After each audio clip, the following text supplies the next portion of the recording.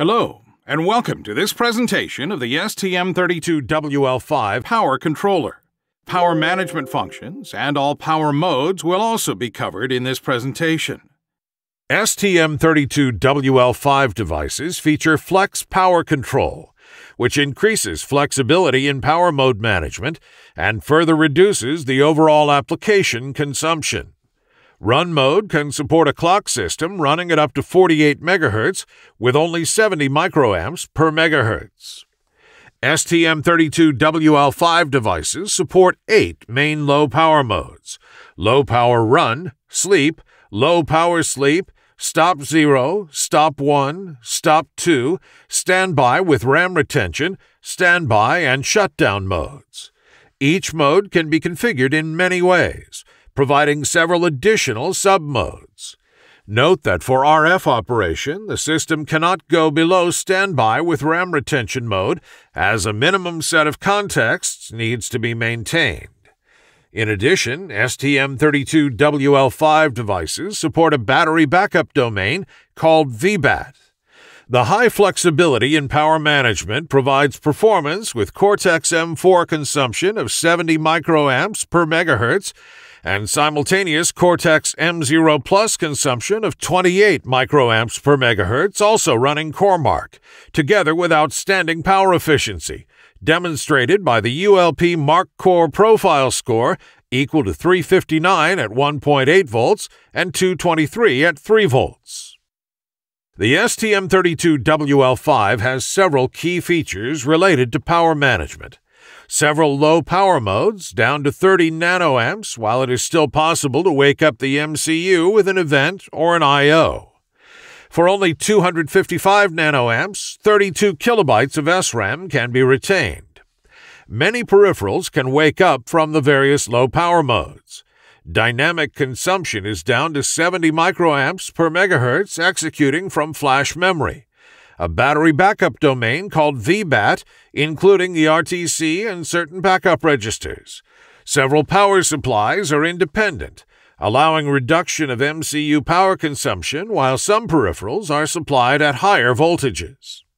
Thanks to the large number of power modes, STM32WL5 devices offer high flexibility to minimize the power consumption and adjust it depending on active peripherals, required performance, and needed wake up sources. STM32WL5 devices have several independent power supplies, which can be set at different voltages or tied together.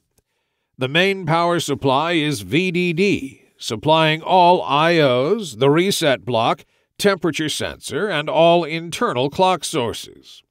In addition, it supplies the standby circuitry, which includes the wake up logic and independent watchdog, as well as the radio.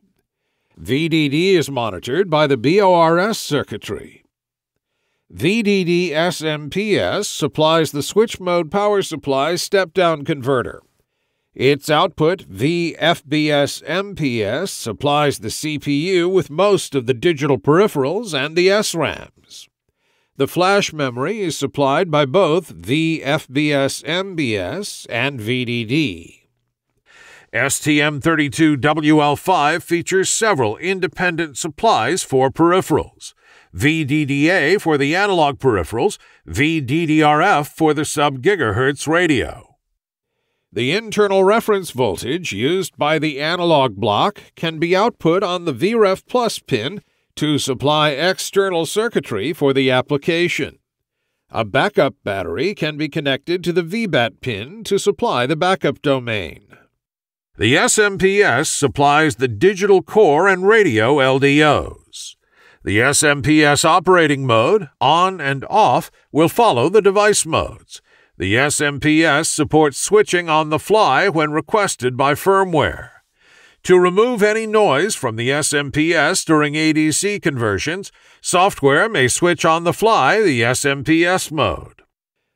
The STM32WL5 supply configuration is to be selected by hardware. For the best power performance, use the SMPS configuration. For the lowest cost, the LDO configuration can be used. The main power supply VDD ensures full featured operation in all power modes from 1.71 up to 3.6 volts, allowing supply by an external 1.8 volt plus or minus 5% regulator. Device functionality is guaranteed down to 1.61 volts, the minimum voltage after which a brownout reset is generated.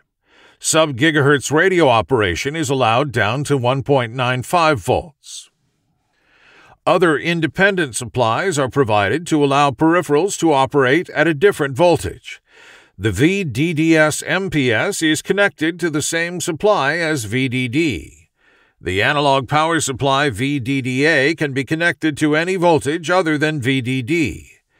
When the analog to digital converters or comparators are used, the VDDA voltage must be greater than 1.62 volts.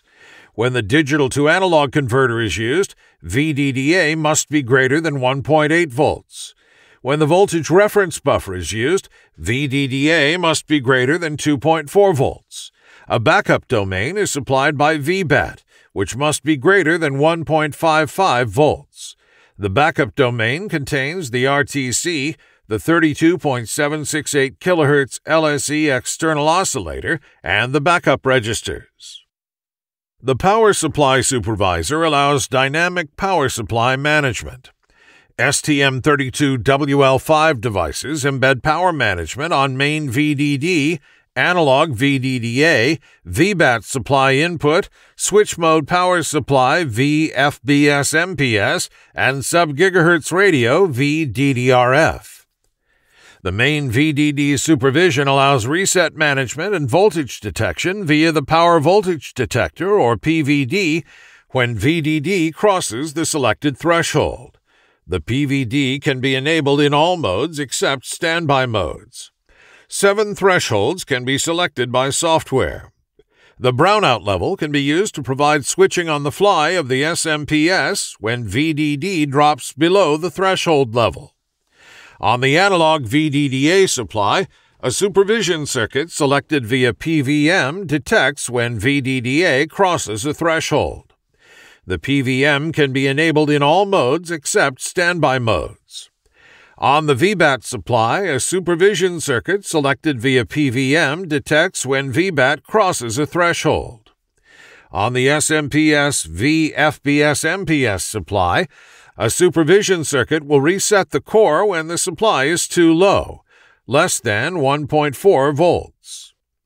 On the sub-gigahertz radio VDDRF supply, a sub-gigahertz radio end-of-live detector is available. The sub-gigahertz radio supply detector can be enabled to be operational when the sub-gigahertz radio is active. The Power Supply Supervisor guarantees a safe and ultra low power reset management. STM32WL5 devices embed an ultra low power brownout reset, or BOR, which is always enabled in all power modes except shutdown mode.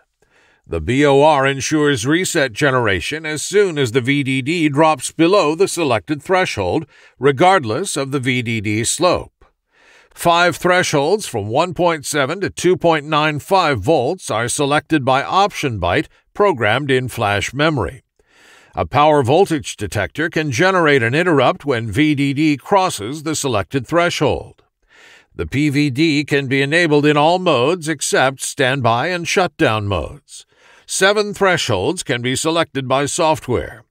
In addition, an external pin can be used to compare voltages. The BOR consumption with the 1.7 volt threshold is included in the datasheet. The STM32WL5 MCU embeds one peripheral voltage monitor to detect if the VDDA supply is present or not. This comparator has wake up from stop mode capability.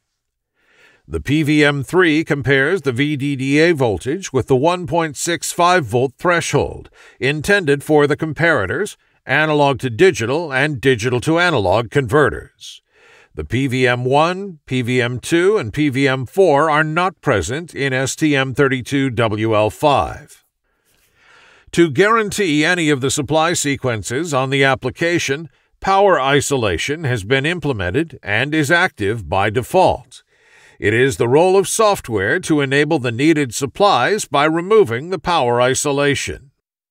The ADC and DAC voltage references can be provided either by an external supply voltage or by the internal reference buffer. This allows improvement of the converter's performance by providing an isolated and independent reference voltage. The VREF plus pin, and thus the internal voltage reference, is not available on all packages. In these packages, the VREF Plus is double bonded with VDDA, and the internal voltage buffer must be kept disabled. The voltage reference is provided through the VDDA pin in these packages. The application software can decide to disable the SMPS when performing ADC or DAC conversion to reduce noise. In that case, the application can decide to disable the radio subsystem during this conversion. The battery charging feature allows charging of a supercap connected to a VBAT pin through an internal resistor when VDD supply is present. The charging is enabled by software and is done either through a 5 kilo ohm or 1.5 kilo ohm resistor, depending on software. Battery charging is automatically disabled in VBAT mode. The STM32WL5 system contains three subsystems the CPU 1 Cortex M4, the CPU 2 Cortex M0 Plus, and the sub gigahertz radio subsystem. Each of the three subsystems can operate independently, being in one of its operating modes C run, C sleep, or C stop. Peripherals will only be clocked when the associated subsystem is in C run mode, or C sleep when enabled in sleep mode. The system resources such as RCC, PWR, EXTI, and SRAM2 connected on the shared bus will always be clocked when one of the CPUs is in C run and the system is in run mode. The other peripherals on the shared bus may be enabled to operate with CPU 1 and or CPU 2. The CPU 1 bus matrix peripherals may be enabled to operate with CPU 1 and or CPU 2. The sub-gigahertz radio system is connected to the bus matrix via the sub-gigahertz serial peripheral interface. The sub-gigahertz radio system may operate when both CPUs are in C-stop mode. In this case, all other peripherals and all bus matrices are stopped, and the system may be in stop or standby mode. Each CPU can decide independently which low power mode to use stop 0, stop 1, stop 2, standby, or shutdown. Each CPU can decide which wake up source, RTC, sub gigahertz radio, GPIO, or peripheral will wake it up. When both CPUs enter WFI and or WFE, the hardware mechanism executes the compatible request. It selects the highest low power mode compatible with the requirements from both CPUs. One CPU can wake up without the need to wake up the other one if not required. When the STM32WL5 wakes up from stop mode, according to the wake up source, only the CPU registered for this wake up source is restarted. The other one stays in WFI or WFE with its clock stopped. When the STM32WL5 wakes up from standby modes, in accordance with the source, only the CPU registered for this wake up source is restarted.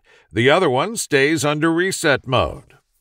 Run mode, run range 1, run range 2, and low power run, and frequency selection changes are centralized to avoid conflicting configurations. This includes selections of the system clocks, as well as low power enable and voltage range and flash memory configurations. The sub gigahertz radio subsystem operates autonomously and will enter and exit low power modes on its own. It does not impact the CPUs and system low power modes. The sub-gigahertz radio low-power timer and a CPU may wake up the sub-gigahertz radio subsystem from its peripheral low-power mode. According to the requirements of the CPU1 and CPU2, the power controller hardware mechanism manages how the STM32WL5 reaches a given state. When CPU1 allows standby mode and CPU2 allows only stop 2 mode, the system enters Stop 2 mode. Note that only the CPUs can place the system in LP run or LP sleep modes. The sub-gigahertz radio may be active down to system standby mode, independent from any CPU and system low power mode.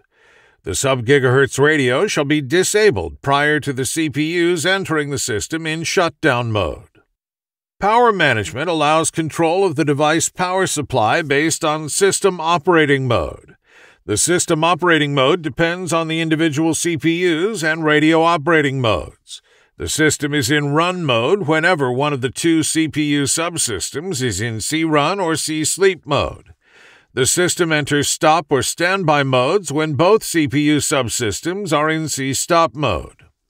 In system run mode, the device power supply can be scaled according to the required performance, up to 48 MHz in range 1, 16 MHz in range 2, and only up to 2 MHz in low power run mode.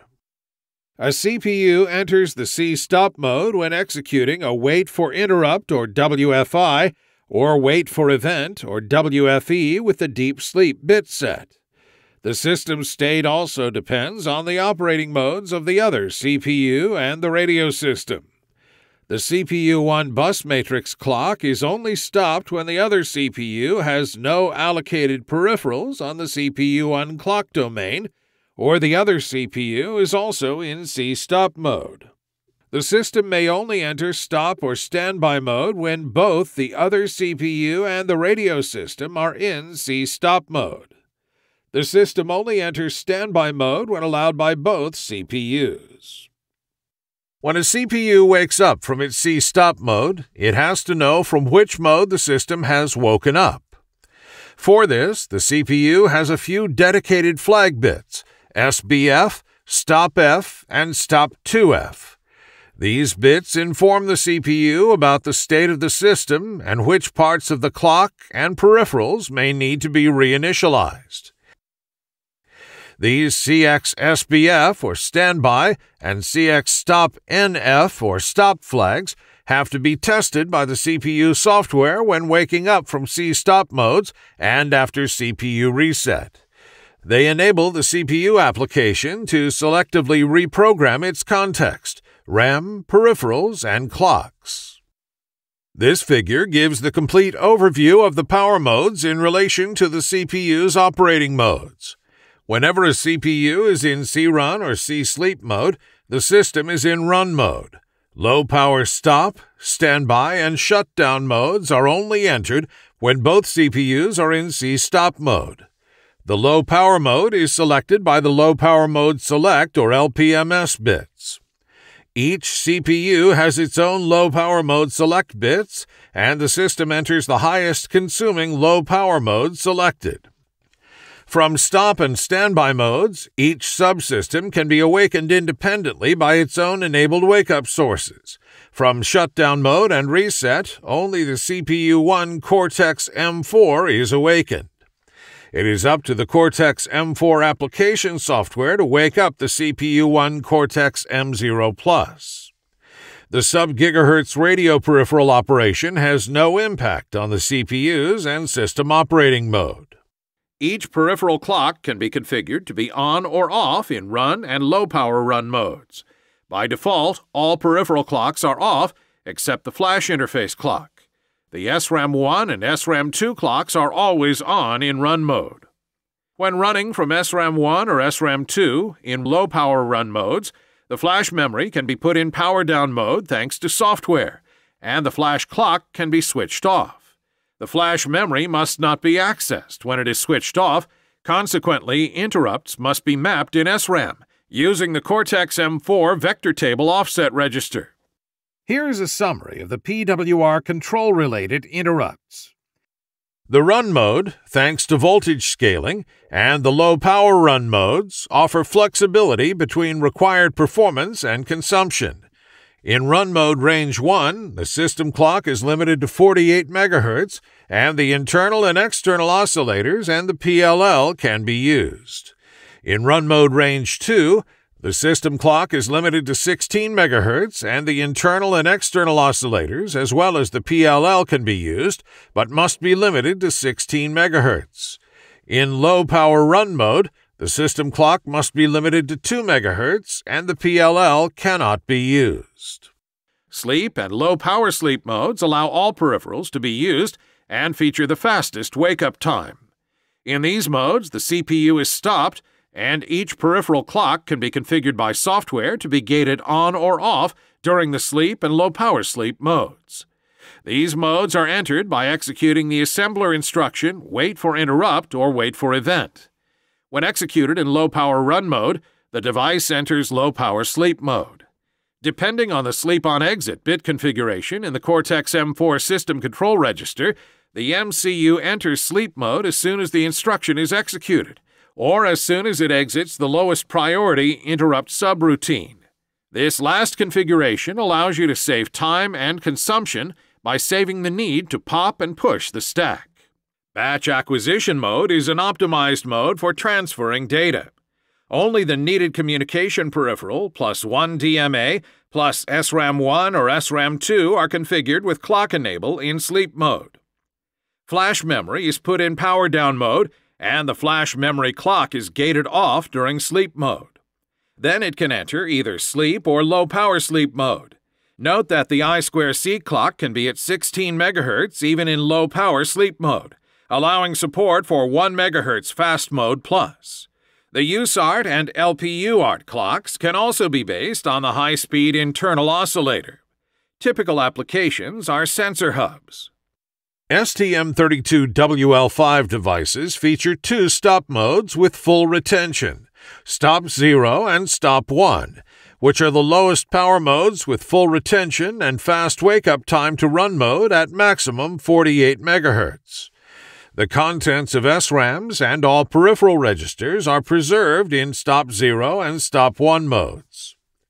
All high-speed clocks are stopped except the ones used as kernel clock for peripherals capable of operating in stop modes. The 32.768 kHz external oscillator and 32 kHz internal oscillator can be enabled. Several peripherals can be active and wake up from stop mode.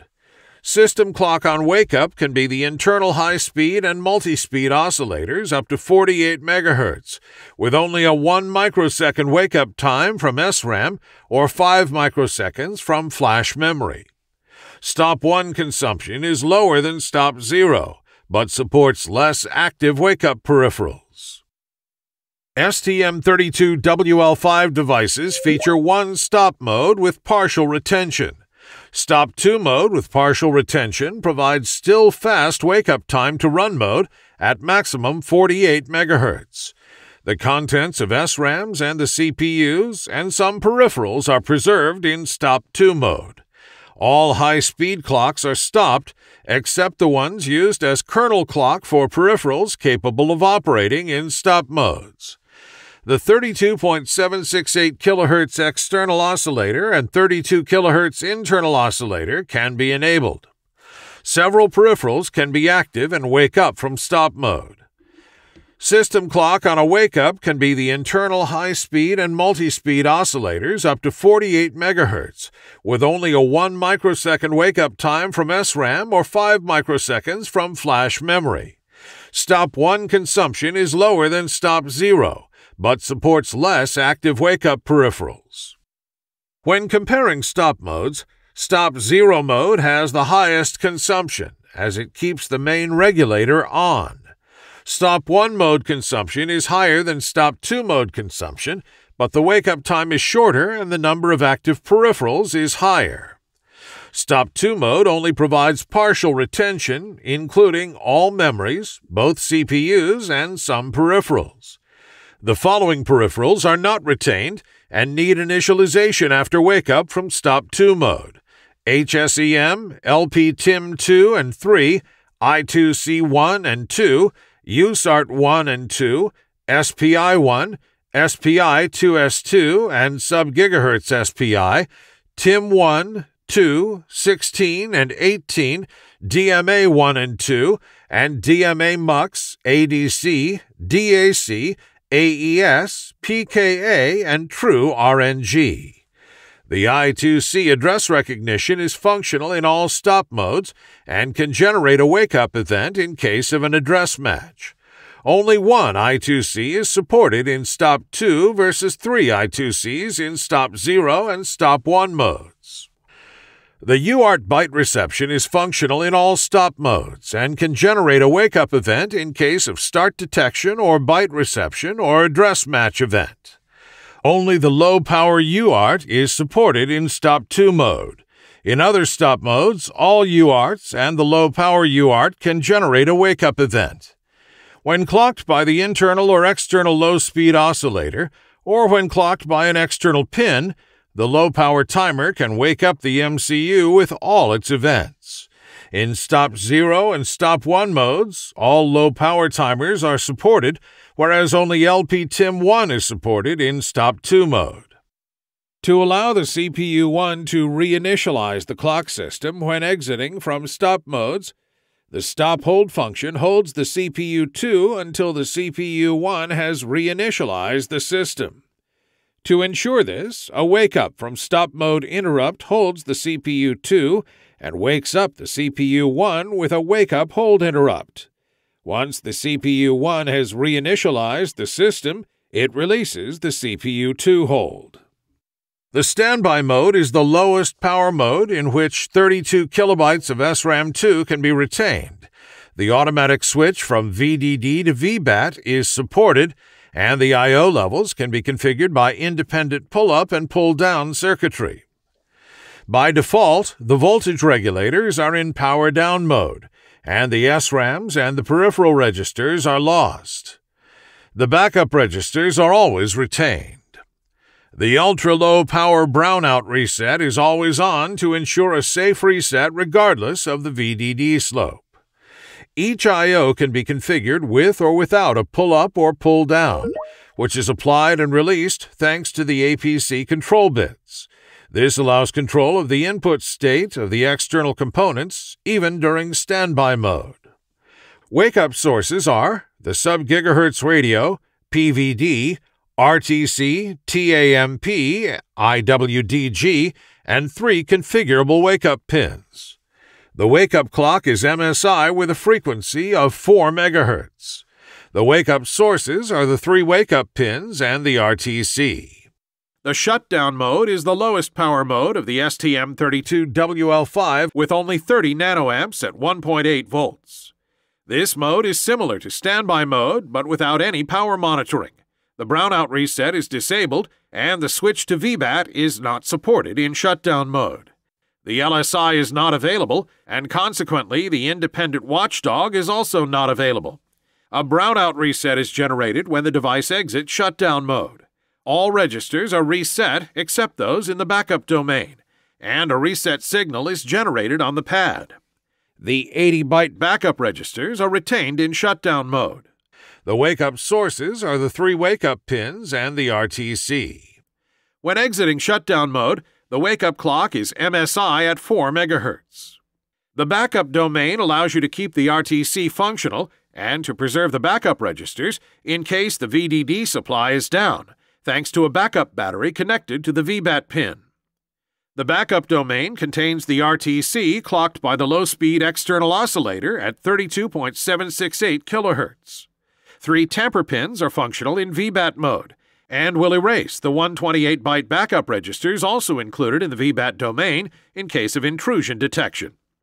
The backup domain also contains the RTC clock control logic. In case VDD drops below a certain threshold, the backup domain power supply automatically switches to VBAT. When VDD is back to normal, the backup domain power supply automatically switches back to VDD. The VBAT voltage is internally connected to an ADC input channel in order to monitor the backup battery level. When VDD is present, the battery connected to VBAT can be charged from the VDD supply. Here you can see the summary of all the STM32WL5 operating modes. Three bits are available in the flash option bytes to prohibit a given low power mode. When cleared, an option bit configures reset generation when entering shutdown mode. Another bit configures reset generation when entering standby mode, and the last bit configures reset generation when entering stop 1 or stop 2 modes. One bit is used to configure the behavior of the BORHX threshold, either as a reset, as in the STM32L4 family, or to automatically switch the SMPS into bypass mode. Note that switching back to SMPS mode when VDD increases depends on the application. Three bits are also available in the debug control register for debugging in sleep, stop, and standby mode. When the related bit is set, the power is kept on all logic in standby and stop 2 mode, and the HCLK and FCLK clocks remain on to keep the debugger active. This maintains the connection with the debugger during the low power modes and continues debugging after wake up. Remember to clear these bits when the MCU is not under debug, because the consumption is higher in all low power modes when these bits are set, due to the fact they force the clocks and the regulators to remain enabled. In addition to this training, you can refer to the reset and clock control and interrupts trainings, as well as those for all the peripherals with wake up from stop capability.